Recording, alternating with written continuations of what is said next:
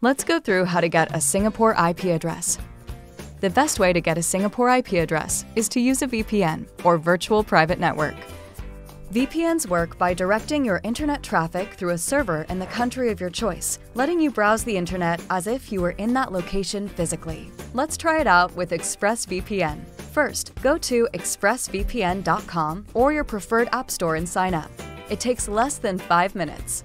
Now, with ExpressVPN on your device, you can change your IP address quickly and easily. Open the ExpressVPN app. Select a server location in Singapore, then hit Connect. It's that easy. Now you have a Singaporean IP address. To confirm this, head over to our IP address checker here. Your IP address should now appear in the desired location. You can now access sites and services just like you're physically there. If you'd like to get an IP address from another location, the ExpressVPN network spans the globe with ultra-fast servers in 94 countries. If you need help, just contact ExpressVPN support, which is available 24 7 over live chat and email.